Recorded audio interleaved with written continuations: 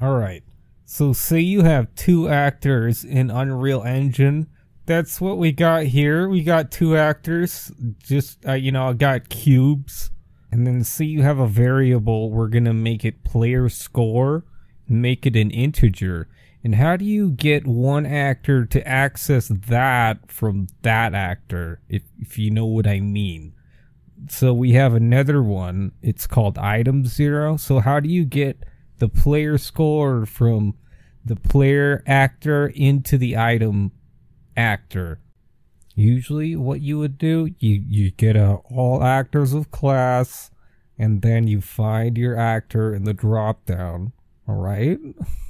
And then you click the square icon and then you type get a copy. and then finally you can click the little circle on the right and type in your variables and you can find them from there. That's really complicated. You know, who would want to do that every single time? So instead, it I didn't know you could do this. Add a variable and then name it, you know, character reference or something like that.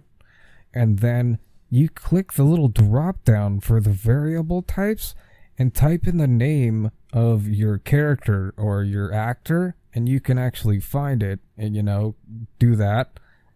And then you know it doesn't really work like that. For some reason i you know i wish it did.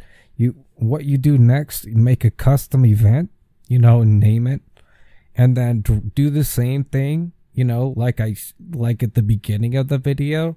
Type in get all actors of class and then find your actor from the drop down drag out the little blue square and then you know and then click your new character variable and then make sure you make it a set option and then drag that in.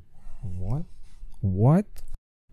And the the last thing you need to do is make the game play the custom event I like to put it right after event begin play because that's you know it it it it, it makes sense.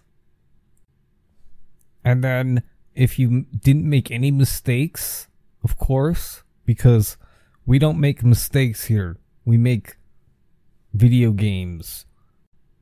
And that's all you need to do. Just drag your character variable out now and anytime you need to use a variable, you know, just click the, the little circle pin and type in and find your variables and it should work.